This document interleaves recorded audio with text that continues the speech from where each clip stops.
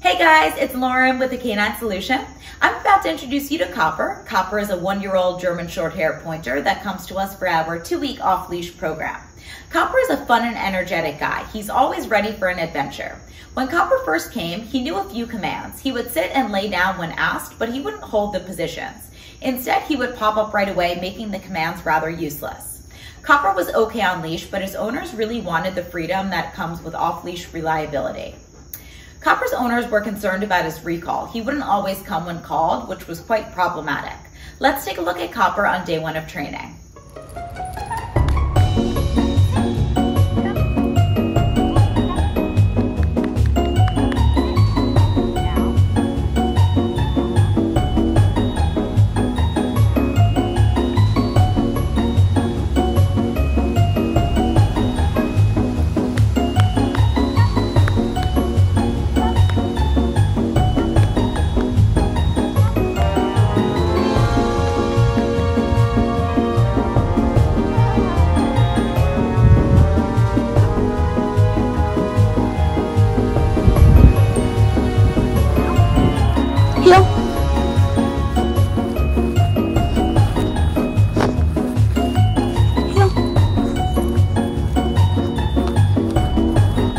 Here.